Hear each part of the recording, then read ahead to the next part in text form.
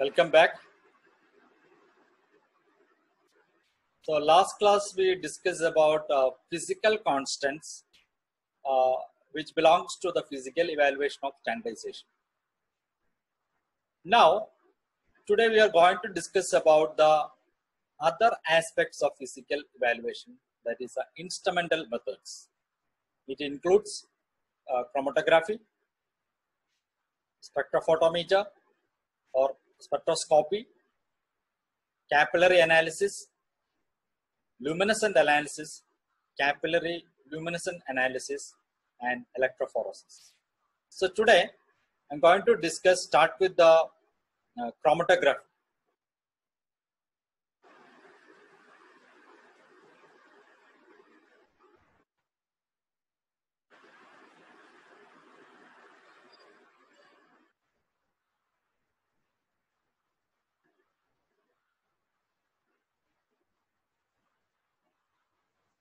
So what do you mean by chromatography? Chromatography is a word which is originate from two words, chromatos and graphos. Here chromatos means color and graphos means written. So that is a Greek word. Now what is chromatography? It is a technique that is used to separate and to identify components of a mixture. So chromatography is a method used primarily for the separation of the components of a sample in which the components are distributed between two phases, one of which stationary while the other moves that is called as mobile phase. The stationary phase may be a solid or a liquid supported on a solid or a gel and may be packed in a column, spread as a layer or distributed as a film. The mobile phase may be the gas or liquid. So the principle behind the chromatography is the separation process is based upon the differential distribution of components of a mixture between two phases. So what is the principle behind the chromatography? So I told you about two phases, that is stationary phase and the mobile phase. Now, we'll see what is, what is stationary phase and what is mobile phase. So stationary phase is defined as a adsorbent which are suitable adsorbent that are commonly used as magnesium oxide, alumina, cellulose, paper or silica gel. So these substances can be used as a stationary phase. Now mobile phase. Mobile phase is a liquid in which the substance is dissolved is, is termed as mobile phase or it is called as eluent. The commonly used mobile phases are petroleum ether, carbon tetrachloride, benzene, alcohol, or any organic or inorganic solvents.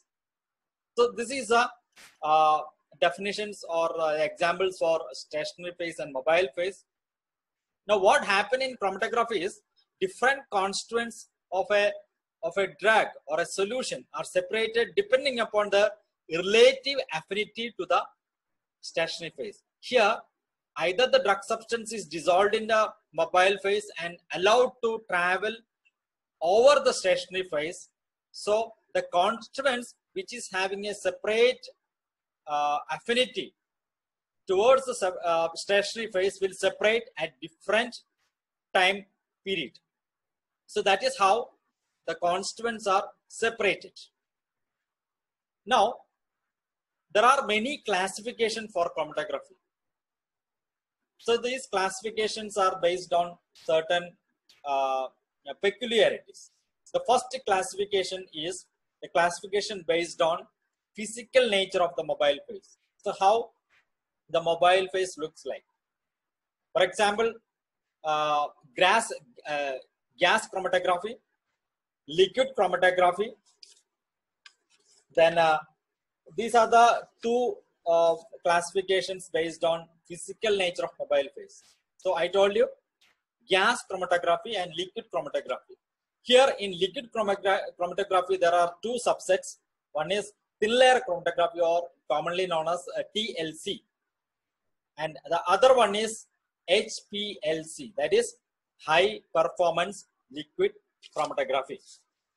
Now, this is one classification. Then other classifications are uh, based on shape of the stationary phase.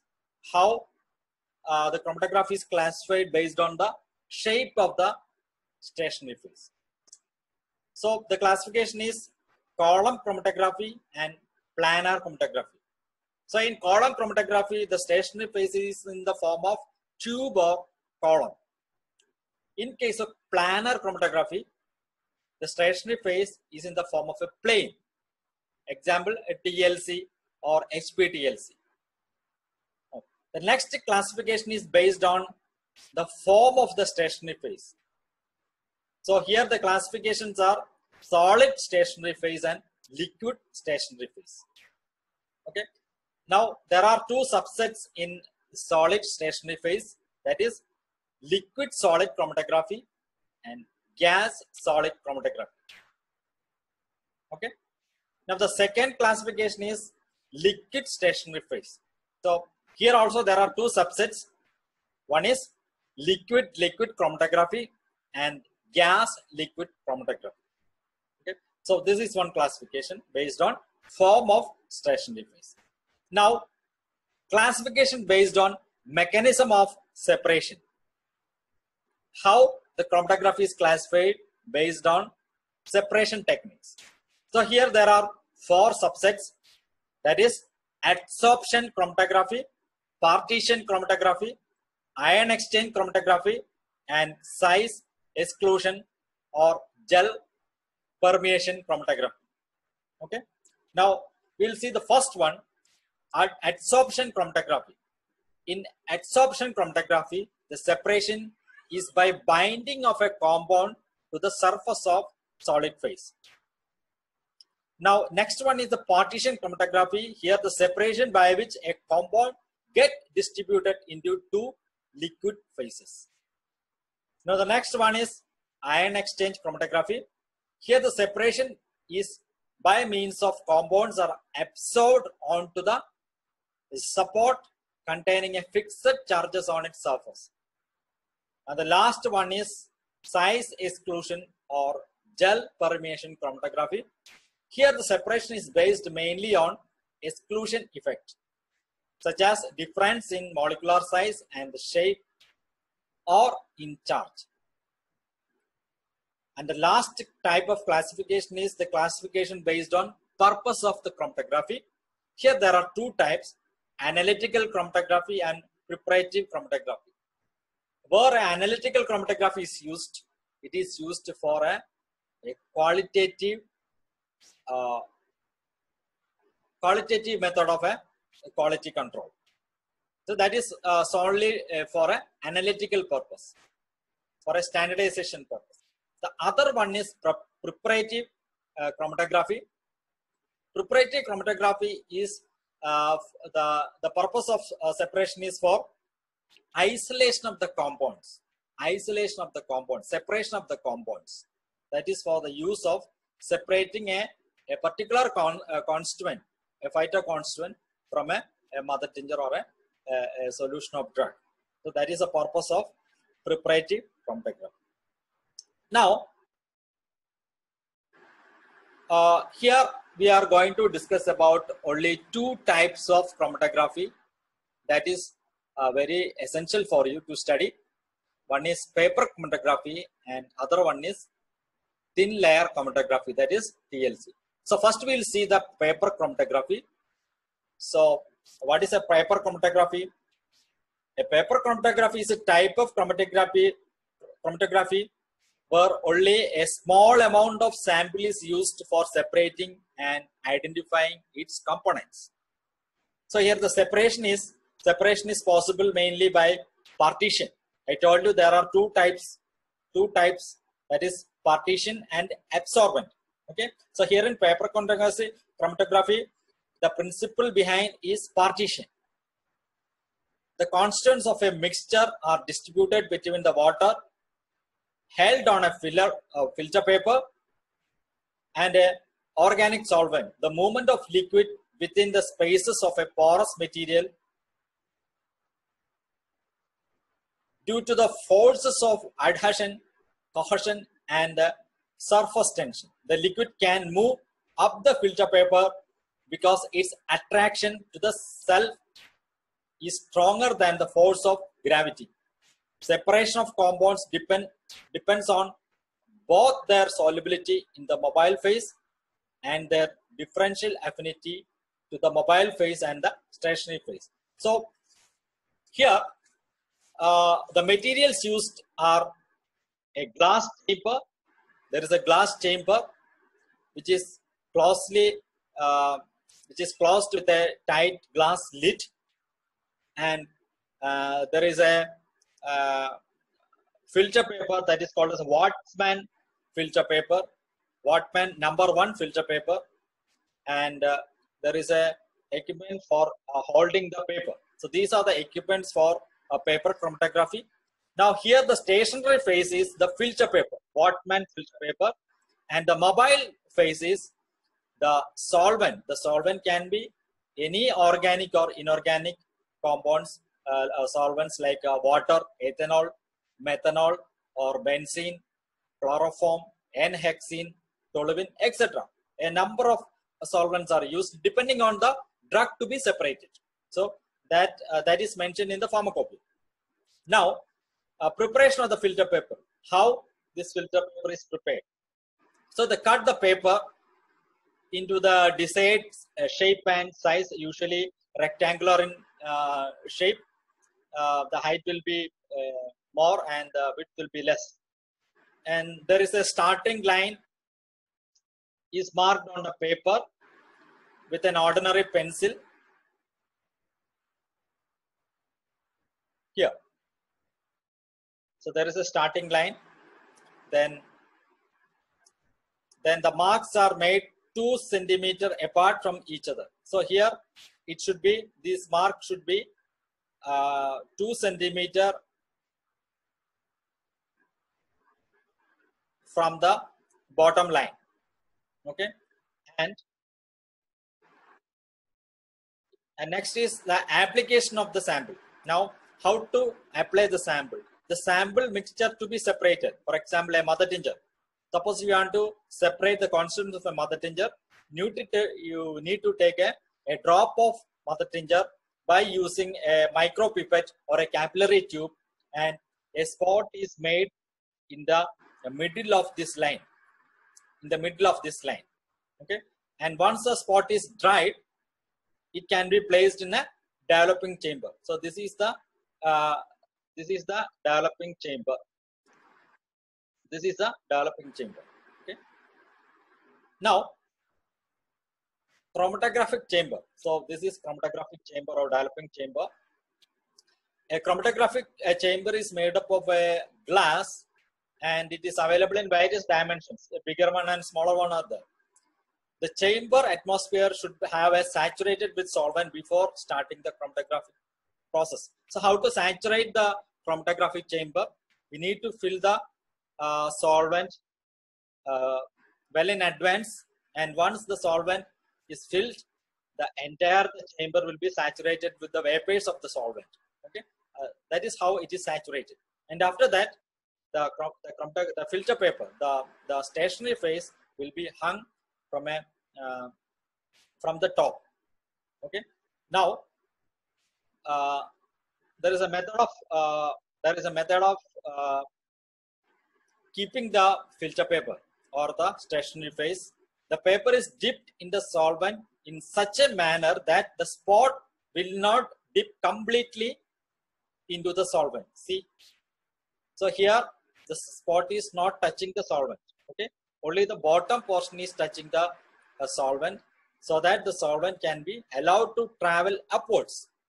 So it is allowed to run uh, two-third of the paper height, almost to this level for a better and efficient result. After the development, the paper is taken out of the chamber and dried. The colored spot can be visualized, visually detected, and the colorless spots can be detected by UV light or suitable chemical reagent. Suppose the separation of the compounds uh, constituents can be colored like this. See here, some colored spots are there. So here what happened is this solvent, this mobile phase is travel up to this level, up to this level along with the spot. So the, here the constituents are separated. Different constituents are separated and that is depending, depending upon the relative affinity of these, these constituents towards the stationary phase. That is the filter paper. Okay. Now, once the solvent front, the uh, mobile phase is uh, travel up to the two third of the paper, yeah, we can stop the uh, filtration, uh, sorry, the uh, chromatographic techniques and the filter paper can be dried. So sometimes the spots can be visualized by naked eye. Sometimes it will be colorless. We cannot visualize with a naked eye. So in, in that case, what we have to do is we need to either we have to place this uh, paper in a UV light so that that can be visualized. Or we can spray some uh, some uh, chemical reagents. Some chemical reagents so that it can be visualized. For example uh, for amino acids. Suppose the constituents of the amino acids we can spray the ninhydrin reagent so that it can be visualized. Suppose if it is a alkaloid many of our mother tinges contain different types of alkaloid. Suppose if it is an alkaloid, these constituents are alkaloids, it may not be visualized by the uh, naked eye. So we can visualize by spraying some uh, reagents like a Dragendorff reagent or Hegnes reagent or um, what do you say? Uh, reagent, etc. Okay. Now, how to analyze the result? How to analyze the result? So we have the distance traveled by the solvent. This is the distance traveled by the solvent. Now, the distance for this constant, the distance traveled by the uh, solute. This is the distance traveled by the solute for this particular constant. So, I repeat, this is the distance traveled by the solvent and for this constant, this is the distance traveled by the solute for this constituent, this will be the distance traveled by the solute. So now the RF, RF value, that is the retardation value. So for each constituent, we have to calculate the retardation factor. That is, in short, we say RF value. The RF value is calculated by a formula that is the distance traveled by the solute, distance traveled by the solute divided by distance traveled by the solvent. That will give you the RF factor. So for each, each constituent in a drug, the RF value is a unique one. So that we can identify a unknown constituent in the drug. So that is the advantage of paper chromatography. And there are many advantages and uh, uh, disadvantages of uh, paper chromatography. So we'll see the advantage. So here the advantage is So these are uh, before going to the advantage and disadvantage. We'll see how uh, the solvent front travels upwards and how the constituents are separated. This slide will give you an idea. This is how. So there are uh, one to six constituencies. Uh, sorry, one to six uh, drug samples are there so each, each of these drug samples are separated. Constants are separated. And this is an example for a, a paper chromatography. Here the spot is given. See here the spot is given and uh, the constituents are separated at different levels, which is evident by the color. See the color difference. These colors uh, are the evident for uh, separated constituents of this particular drug. So, we'll come to the advantages of paper chromatography. The first advantage is it is very quick to perform. as you as you see a, uh, it does not have any sophisticated instruments it is very easy to perform and it is very quick to perform it requires relatively small samples you know only one drop one drop of a drug sample is required to perform a, a chromatography paper chromatography. It is very inexpensive. See we require a chromatographic chamber uh, then um, filter paper then uh, some amount of solvent. That is that is only require, requirements needed. Okay so it is very inexpensive. Now what are the demerits disadvantages of paper chromatography some mixtures are very difficult to separate using paper chromatography so uh, some uh, uh, drugs uh, may not be uh, separated by this method from paper chromatography we need some other methods for separating that it is solely an analytical method, not a proprietary one. So I told you one classification is based on the use of chromatography. So this paper chromatography can be only used for uh, analytical purpose, not for a, a, a quantitative purpose. It can be only used in qualitative analysis. That is what I said before. It can be only used for a, a qualitative analysis and not for a not for a quantitative purpose. So the next one, next one is thin layer chromatography. So the principle is is same as paper chromatography, but the materials used is uh, different. Okay. Now, what are the what is a thin layer chromatography or TLC? TLC is a form of liquid chromatography consisting of a mobile phase and a stationary phase. So here the mobile phase is the developing solvent and the stationary phase is a plate or strip coated with silica gel. So this is the stationary phase. So what is this? This is a, a glass uh, glass plate which is coated with a silica gel.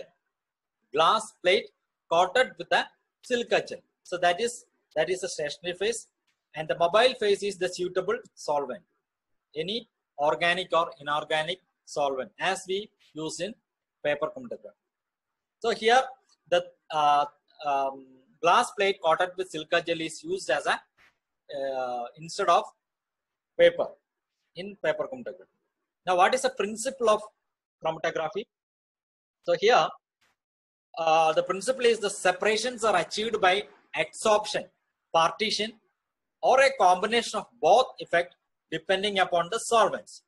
The quantitative measurements are possible by removing the spot from the plate with a suitable solvent. I will explain it later. Now, what are the materials required? As I told you, stationary phase. That is a glass plate coated with a thin layer uh, silica gel or alumina based on sample to be separated. So, either silica gel or alumina can be used for coating the glass plates. Now, what is a mobile phase?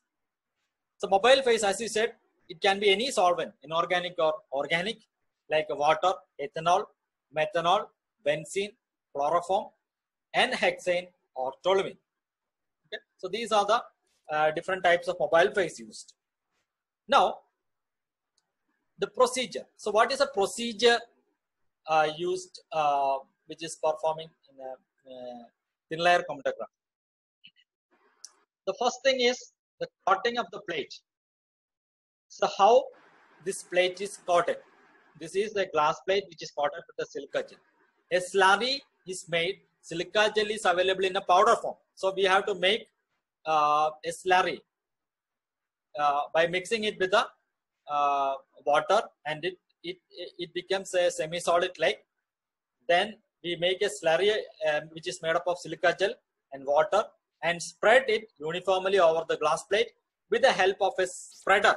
A specialized instrument is there to coat the silica gel over the glass plate and uh, analytical plate. So I told you this thin layer chromatography can be used uh, for analytical purpose as well as a quantitative purpose. Okay. So for if you are using for an analytical purpose, these analytical plates are prepared uh, by uh, coating the silica gel in a thickness of 0.2 millimeter to 0.5 millimeter thickness. So the, the thickness of the uh, silica gel coating will be less.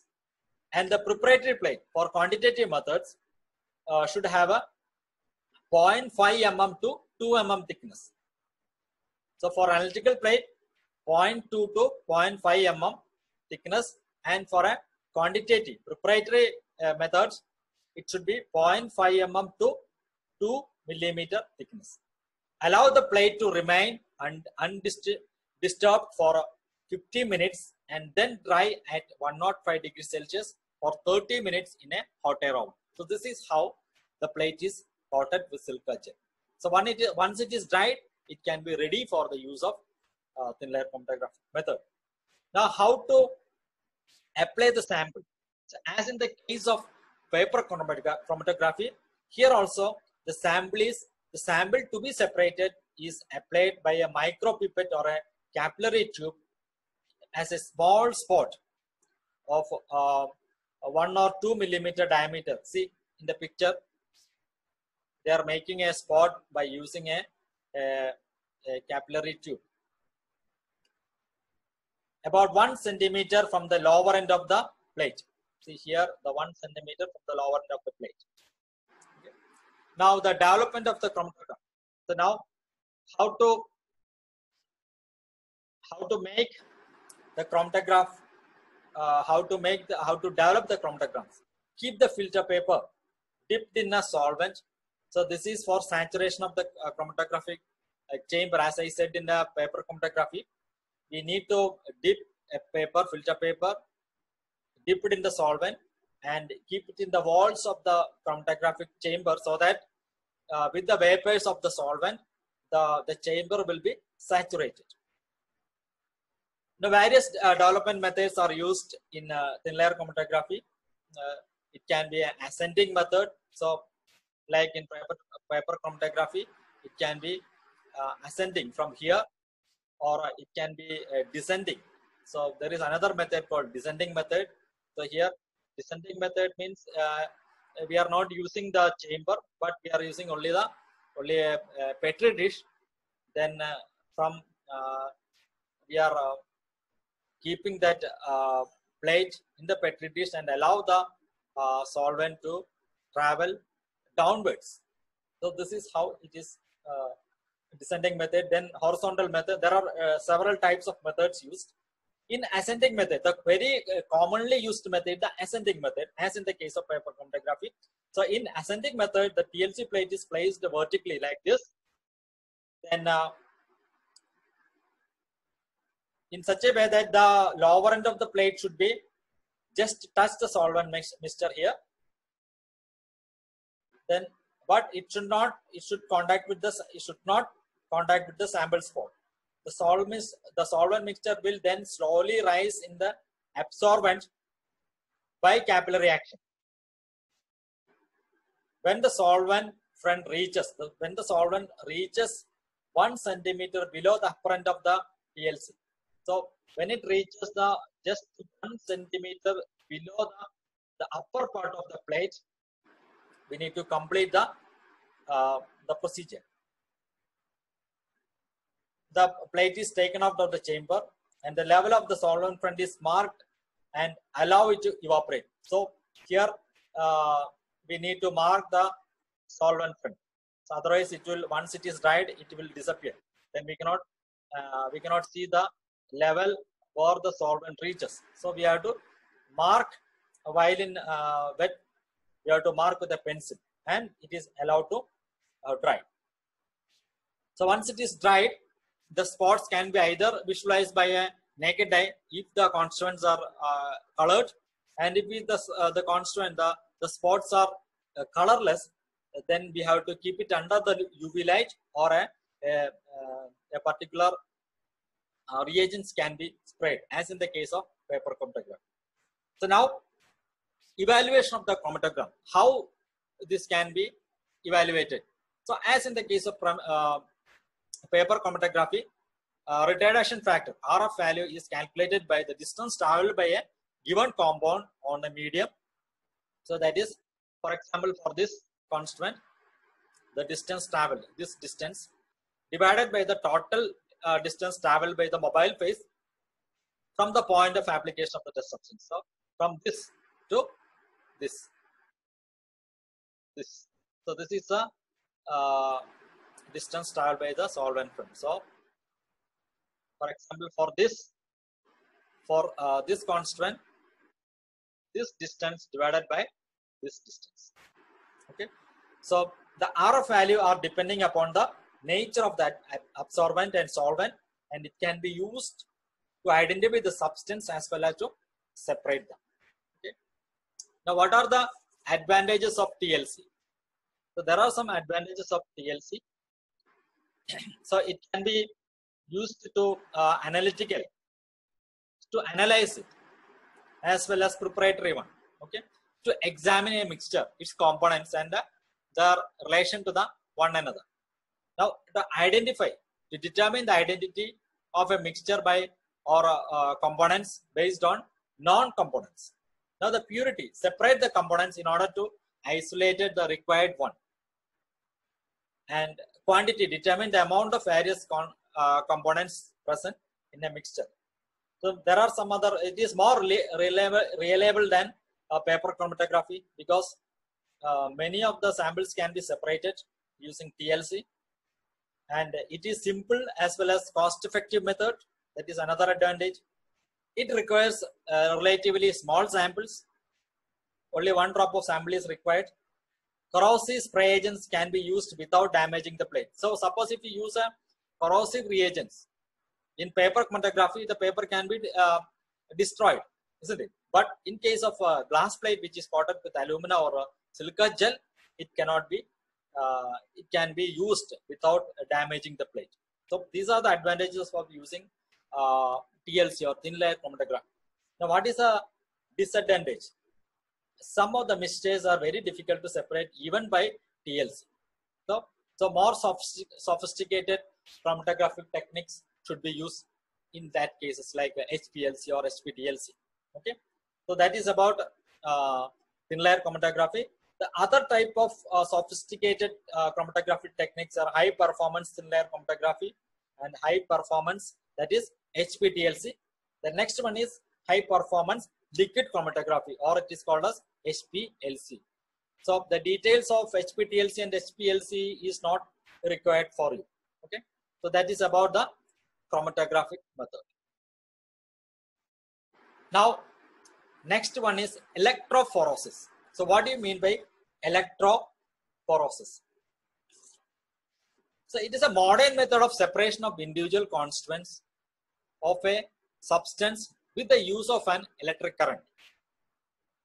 So here in electrophoresis, uh, it is used to analyze a drug prepared from animal sources, especially animal sources, especially toxins which contains proteins. For example, uh, what are the uh, medicines prepared from animal sources like uh, Apis mellifica, Crotalus horridus, lachesis, etc. Because these drugs contain some proteins in their uh, mother solutions or mother tinctures.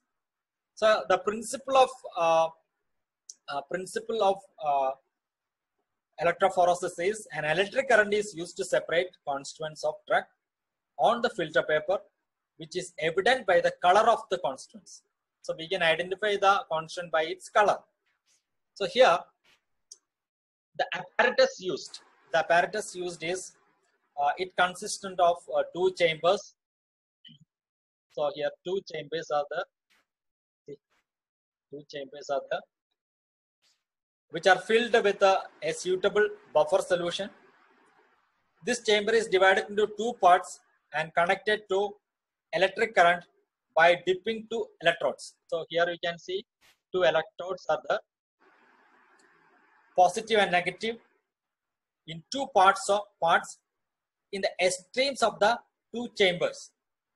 So these electrodes are placed in the extremes of the chambers. In order in the other two chambers are frames made up of some synthetic materials connected in between glass on which the filter paper could rest conveniently so that both ends of filter paper will dip in a buffer present in two inner chambers on two sides of the apparatus. See, it is separated out. The apparatus covered with a nicely by a glass cover. So this is a glass cover. And a current voltage of uh, 110 or 220 is passed to a particular period, 8 hours or more. After this, the current is stopped. So what happens is the paper is taken out carefully. So here one paper is kept. And it should be dried in the room temperature, stained with the suitable stain and washed repeatedly with a washing solution. After washing the reagents, the regions of constituents of drug remain distinct with a color. See, you can see the color of the constituent here. So here what happened is we are keeping uh, keeping the samples here and based on the uh, affinity electric affinity the constituent will pass uh, will move towards the negatively charged electrode or positively charged electrode that is how it is separated so this is the principle of uh, electrophoresis so these are the uh, different uh, electrophoresis samples which is separated. The constituents are separated. So we'll stop the class here. We'll continue with uh, next instrumental methods next class.